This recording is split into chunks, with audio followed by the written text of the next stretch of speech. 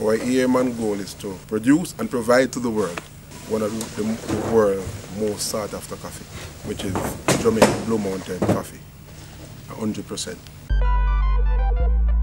We have been exporting coffee, Trumpet Tree, um, from 2016 till now. We have grown grow, grow significantly. Our main export is to the US, where we export over 70% of what we, we take in. And, and main company in the US as the distributing company is BMCI, which is owned by Edgar Munn. We have gone to Korea in a small way, not in such a big way. And then we see the Japan, Japan in some form now checking in. This year we, we, we, we get a little better market than last year. And then we get in some argument with China. We do some to Europe, England. We also send coffee to, to Italy. There's a little company in Italy by the name of Best Coffee. Also down under Australia, we, we have a little market not anything great, but we hope to expand on that in the near future. In terms of our roasted product locally, we normally do the duty-free shops on the tourism side. But since COVID, that has dropped from about all of our sales, about 90, 99% of our sales was there. Because we haven't, haven't, I've to branch out in supermarkets because of terms and conditions they would take it on credit, but why whatever don't sell, they would you'd have to take it back and replace it and all of that. So that's a challenge.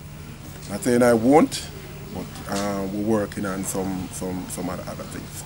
We also have a product where we, since COVID, it, it, it has pushed me to think out of the box. There's always a thing that Jamaican and the world don't like coffee and don't drink coffee, but that's a myth right? That, that's, that's not true. The Blue Mountain coffee is a very expensive coffee. Very expensive to produce, very expensive to, to, to, to, to process, very expensive to, everything about the coffee is expensive. So you have to sell it at, at a price to ensure that you can stay afloat.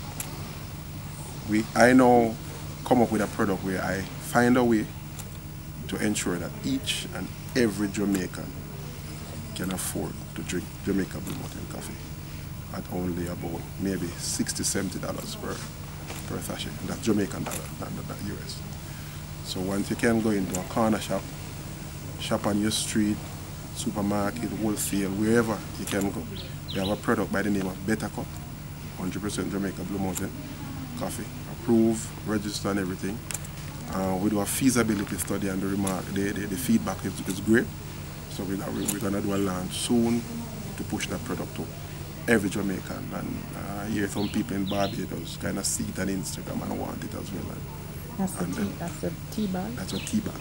So, so, so the, the Betta Cup is, is really a tea bag. The first 100% Jamaican Blue Mountain Coffee tea bag. So we acquire a machine to do that. Machine that makes 40 cups per minute. We also have the, the pound coffee, which is a whole bean. It goes by the name of Reading Blue and um, the, the grounded coffee. I would say in terms of export, we have more demand now since more people staying at home overseas. So, so there, there, there's a demand now for, for, for, for Jamaica Mountain coffee. So it doesn't um, put a damp on, on the export. What, what, we have to do though, a lot of customers is, is, is, is squeezing about in terms of price.